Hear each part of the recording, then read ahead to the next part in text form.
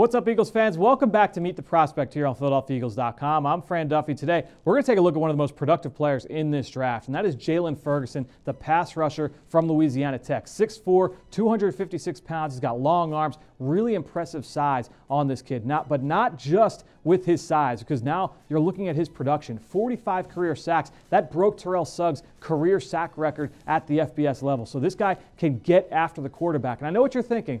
Uh, you know, he played at a smaller school. He feasted Conference USA against smaller competition. No, he also flashed against LSU, Mississippi State, any of the other big schools the Louisiana Tech played. He always showed up on film. And this is a great example. This is Mississippi State. Watch Jaylon Ferguson matched up on the right tackle from the Bulldogs here. He's going to try and win upfield high side with a double hand swipe. But once he sees that this tackle gets overextended and now he sees Nick Fitzgerald's about to step up into the pocket, he does a great job of playing on the opposite side of this rush. He converts into a low side move, gets underneath the tackle, and closes in on the quarterback for a sack. Jaylon Ferguson was extremely productive, and he did it with a lot of different pass rush moves, showed the ability to win in a number of different ways, can win outside, can win inside. Some people think he can slide inside and offer some value as a pass rusher, inside as a defensive tackle as well. So when you look at Jaylon Ferguson, you see a guy with length, production, his tape is very good. He looks good in person. The production was there. Now you just want to see where does he end up going in this draft. One of the more polarizing players because some